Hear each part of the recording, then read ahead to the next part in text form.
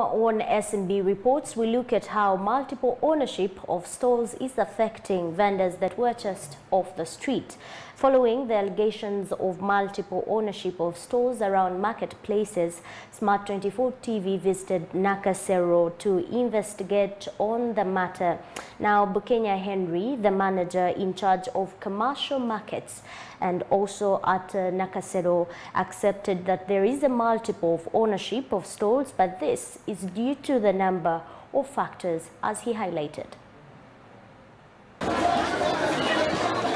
At the start of the year, the resident city commissioner of Kampala, Hudu Hussein, directed that vendors should vacate Kampala. The operation was done across the different places within Kampala, especially Nasser Road. The vendors were directed to go and conduct business in designated places like Usafi, Wandegeya, Nakasero, Kasubi, amongst others.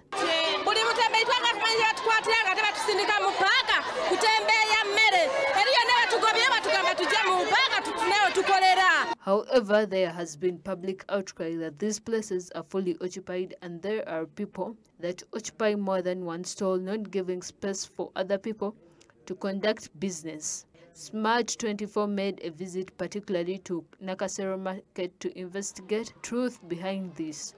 And Tabo Ziharuna, the General Secretary of the market, refuted the allegations.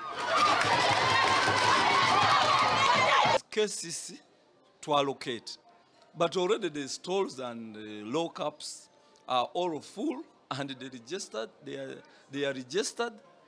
So there is no way you, are, you can get a stall in Nakasero or a lockup.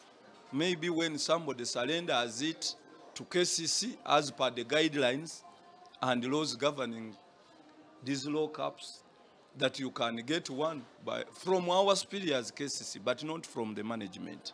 But with the open spaces, if somebody leaves the space, if somebody leaves the space, then the management can find one who comes and, and requires for one. Tambuzi asserts that it's only Kampala City Council Authority that allocates such charges. My last remarks is I urge every Ugandan, every Ugandans and the vendors at large that COVID is still here. They should abide by the SOPs and we are vaccinating people here. Let them please come and be vaccinated. Kampala City Council Authority is mandated by the Constitution to regulate business in Kampala and commercial markets being one of them. Meanwhile, the commercial manager, City Council Authority, Henry Bukenya, revealed some of the issues. Established or were supposed to be established by the government. Unfortunately, that is the law that we are still operating in 1942. And then markets were supposed to be agro-based.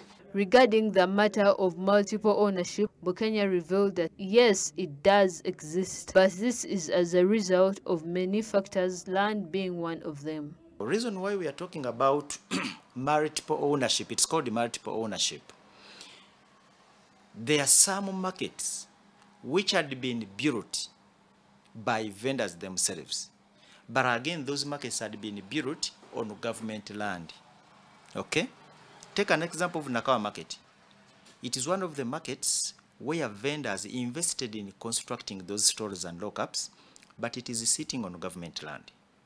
So during the time the redevelopment of, of that market started, all those that could be able to invest in more than one store were allowed to do so.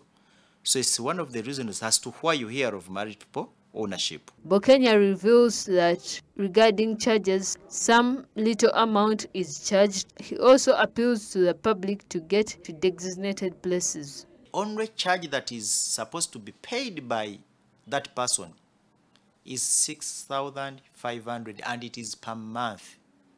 It is per month. So we don't charge any other fee apart from that.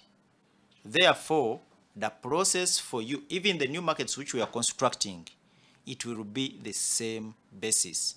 First come, first serve. You apply. If there is availability of space, it is allocated